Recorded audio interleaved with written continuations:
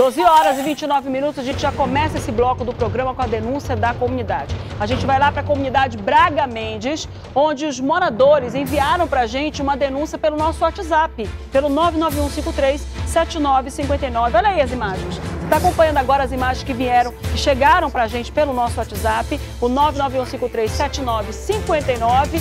E olha que estado precário. Pois bem, a produção pegou essa imagem, manteve contato com os moradores e pediu para que Bruno Fonseca fosse lá acompanhar e ver de perto essa situação. E é de lá que fala Bruno Fonseca ao vivo conosco. Oi, Bruno, boa tarde.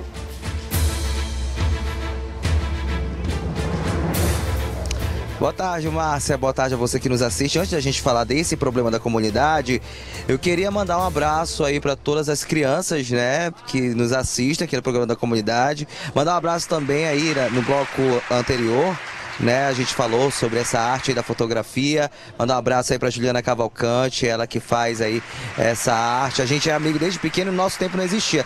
Existia o que o que máximo existia era aquelas aquelas fotografias, bota o menino no meio do mato para parecer que tá na selva, mas enfim. Vamos falar de comunidade, Márcio, nós falamos ao vivo aqui da Rua Santa Rosa, no Braga Mendes, na zona leste de Manaus, onde os moradores procuraram a nossa equipe de reportagem para falar sobre esse problema que há anos eles vêm enfrentando. No ano passado, segundo eles, a prefeitura veio aqui e fez aí o serviço de asfaltamento. Mas aí, com as chuvas, né, com as chuvas, com todo esse sol que hoje parece que está fazendo 40 graus aqui na cidade de Manaus, a rua volta a ficar nesse estado precário. A gente vai conversar aqui agora com o morador que mandou aí, né, a, o vídeo que a gente acabou de ver aí com você, Márcia. Esse é o Danielson. Danielson, você mora há quanto tempo aqui na, na rua Santa Rosa? Bom, já moro bastante tempo aqui, né? Tem gente que é mais velho do que eu aqui nessa, nessa área aqui, conhece até melhor do que o problema daqui do da situação que está acontecendo aqui na rua, né? Aqui nós temos problema de falta de drenagem, né?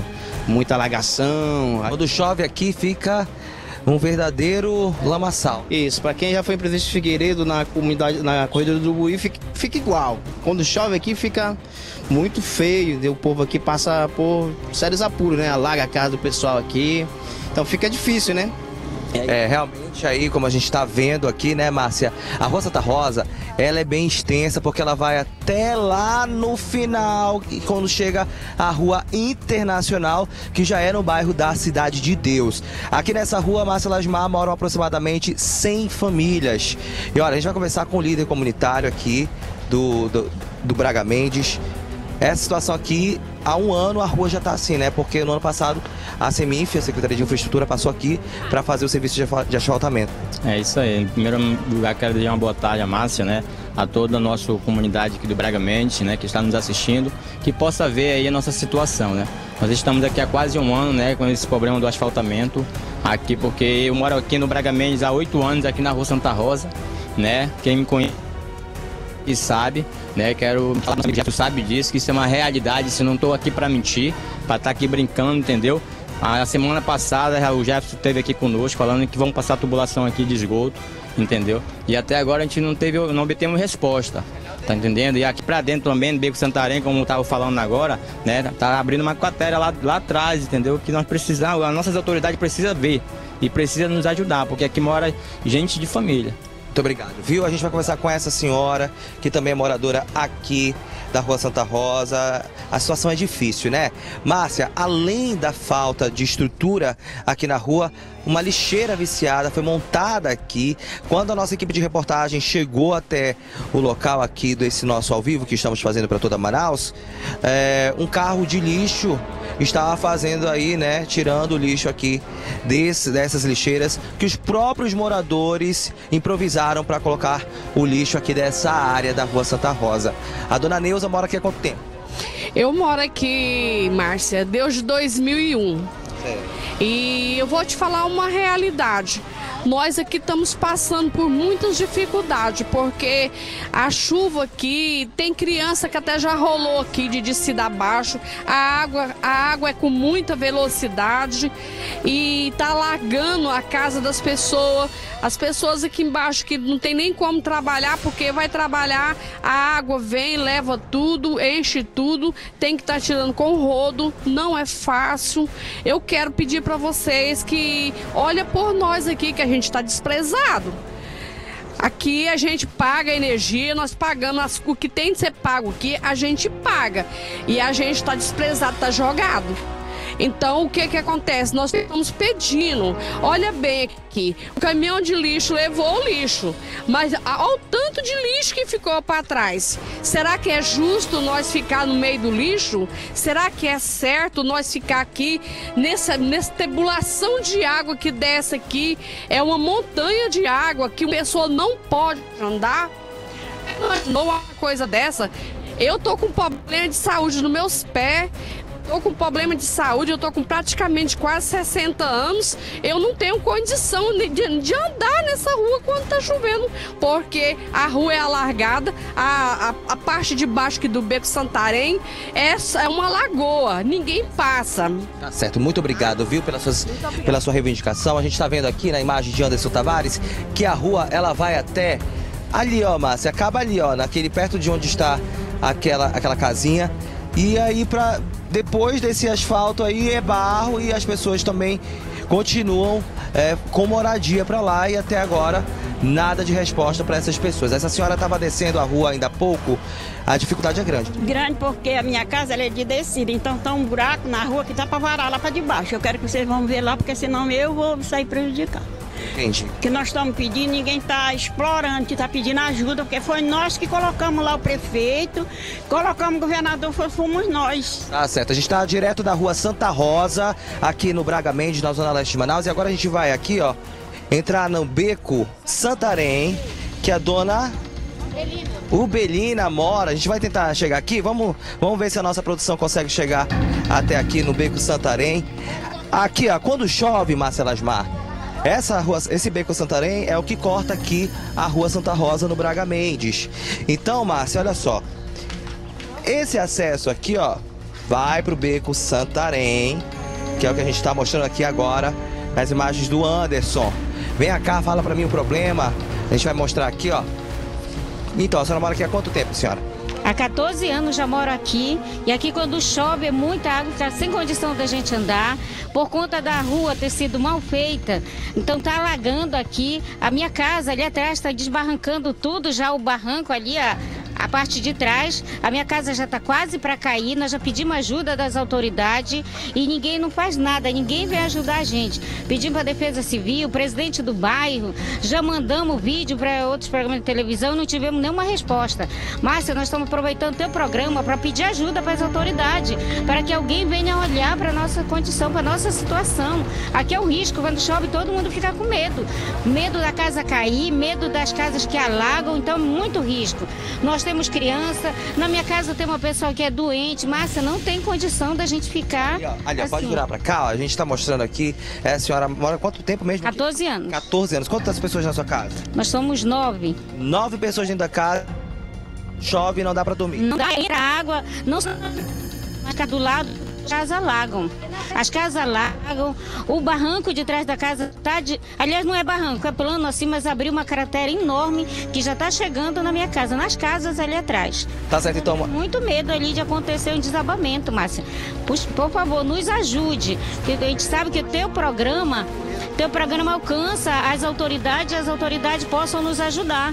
É uma, um caso de urgência, de socorro. Nós estamos pedindo socorro. Tá certo. Se a gente fosse é, ouvir todas as pessoas, porque todas as pessoas realmente fazem as suas reivindicações e eles querem solução, Márcia. A gente ia passar aqui mais de três horas falando no programa da comunidade. Esse é o espaço que eles têm e eles pedem, como você sempre diz, né, Márcia?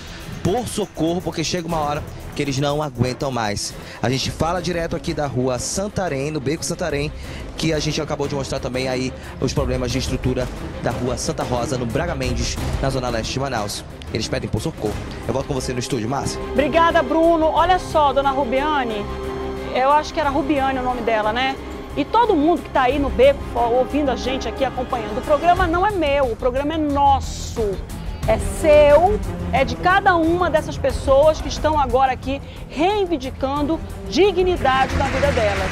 Então, não é meu, é nosso, é, é, seu também, é de cada uma dessas pessoas que falou ali da Rua Santa Rosa e do Beco Santarém, é, de, é da Ingrid, é do, do, do Alisson, do Ivan Nascimento, do Carlinhos, do Rui, do Rude, do Cris, do Gesiel, de todo mundo que está ali nos bastidores também acompanhando o programa da comunidade. E nós já mantivemos contato sim com a Secretaria Municipal de Infraestrutura e a Semif disse que está nessa rua fazendo reparo nesse exato momento. Eu pedi que a Ingrid solicitasse que fosse alguém do Distrito de Obras até o Bruno para conversar com ele e demonstrar que eles estão ali, porque o que a gente vê realmente é uma obra inacabada. A gente vê que ainda tem sarjeta ali com a madeira para poder fazer. Ó, mas, e eles estão Ó, eles estão alegando que estão na rua, tra trabalhando nessa rua, que essa rua é grande, estão. Mas nós não vimos ninguém. E os moradores também estão mantendo contato conosco pelo WhatsApp, dizendo que também não estão vendo ninguém lá. Então a gente vai fazer o seguinte: hoje é quarta-feira, a gente espera que alguém mostre pra gente que está tendo serviço nessa rua. Porque se essa rua estiver com obras, é sinal de que aí nesse ponto onde o Bruno está, e está nesse momento, você está vendo imagens ao vivo ainda de lá, aí nesse local vai chegar máquina para trabalhar. Mas por enquanto a gente não está vendo nada. Não está vendo nenhum trabalhador e não está vendo ninguém fazendo qualquer tipo de serviço ali na rua Santa Rosa. A gente espera realmente que isso seja verdade, que eles estejam em outro ponto da rua e que lá seja feito o serviço. Agora, você que está aí do outro lado acompanhando o programa, tem que ficar ligado no que é que está acontecendo, principalmente vocês que moram ali no Beco, no Beco Santarém, na rua Santa Rosa.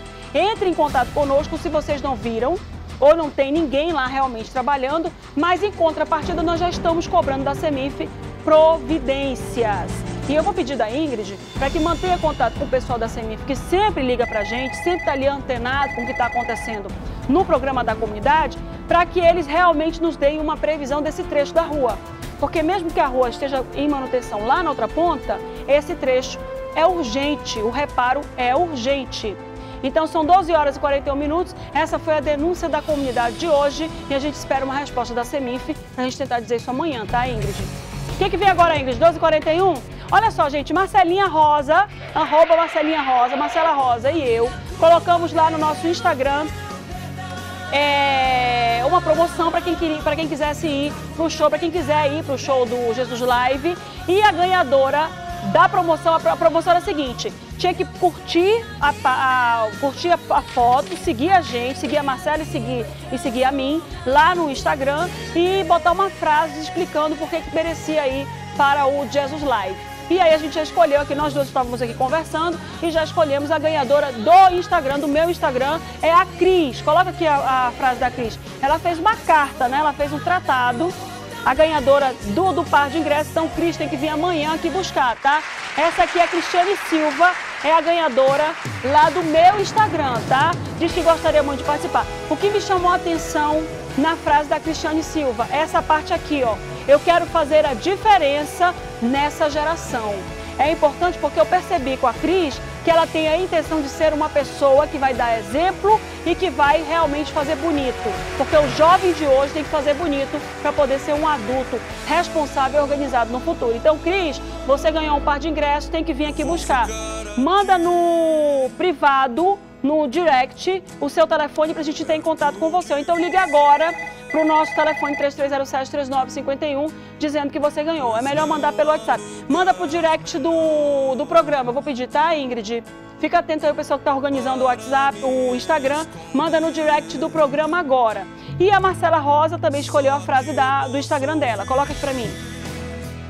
Alicinha Belém, eu quero ganhar para dar de presente pro, de aniversário para o meu pai, porque eu tenho 10 anos e não tenho dinheiro para comprar para ele nesse dia do aniversário. Aniversário do pai dela e a Alicinha disse que quer fazer uma surpresa para ele, porque ele é um verdadeiro adorando.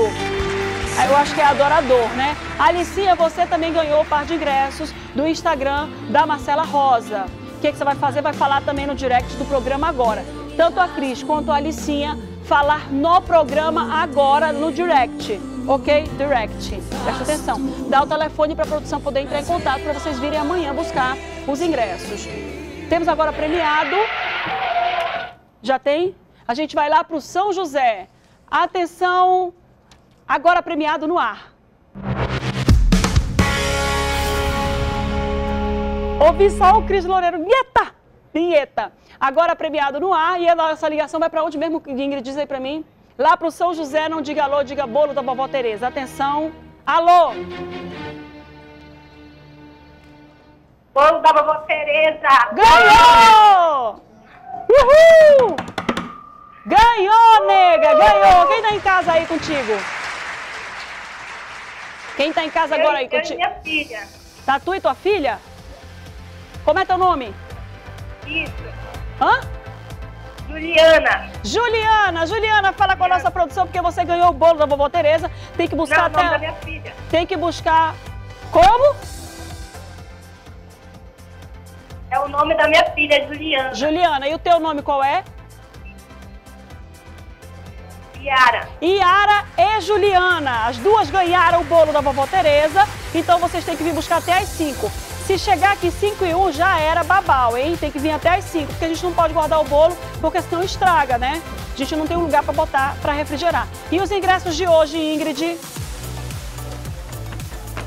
Esses ingressos de hoje ficaram como? A gente vai dar o resultado amanhã desses dois ingressos de hoje aqui, do par de ingressos do Jesus Live. Então, qual era a promoção daqui do programa? Mandar a foto com uma selfie. Podia fazer, inclusive, no computador, pegar na televisão, dos artistas do Jesus Live e também do próprio Jesus Live. Se tiver algum banner, alguma coisa, manda foto pro WhatsApp. 99153 7959. Nós mostramos aqui a foto produzida do Jó Silva e faltou a foto da Manuzinha. E as meninas terminaram aqui do, a foto da Manuzinha. Olha só que linda que ficou essa foto. Olha só que coisa mais linda. A gente encerra o programa da comunidade com essa foto show. E amanhã tem mais. Tchau, pessoal.